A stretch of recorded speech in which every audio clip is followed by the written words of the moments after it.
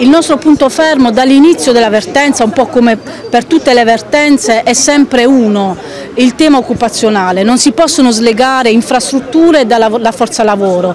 Infrastrutture e forza lavoro devono stare insieme, è come dire, lo spirito guida quello di, di tutte le vertenze che noi proviamo a governare. Dal sindacato non hanno alcuna intenzione di fare passi indietro, si sono ritrovati in sit-in per consegnare la loro vertenza nelle mani del numero uno di Confindustria Carlo Bonomi a Bari, lavoratori di Baritec sono in presidio davanti ai cancelli della società, denunciano un comportamento scorretto e irresponsabile ai loro danni, niente cassa integrazione per la transizione occupazionale, niente manifestazioni di interessi alternative con la scadenza degli ammortizzatori sociali che incombe. Avevamo avuto delle garanzie e delle promesse rispetto a delle offerte che erano arrivate per rilevare il nostro capannone con, con eh, presi i lavoratori, 116 ormai. Abbiamo eh, ricevuto dalla parte della nostra azienda un'opposizione tale che ha compromesso eh, la trattativa con questi acquirenti. Ci sono 116 famiglie serie che hanno volontà di lavorare,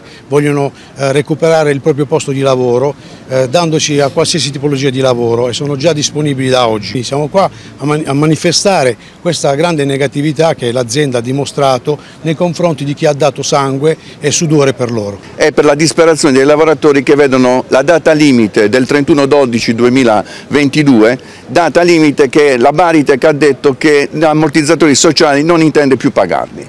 Conseguenza loro fino a dicembre sono coperti con gli ammortizzatori, dopodiché scatteranno le lettere di licenziamento.